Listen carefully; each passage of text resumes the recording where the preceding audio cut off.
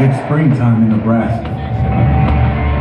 As the days get longer, we rise early, push harder. There's a different energy around this place. Completely new, but oh so familiar.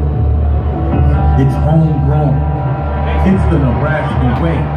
With unity of purpose and no fear of failure. One thing never changes. There is no place like Nebraska.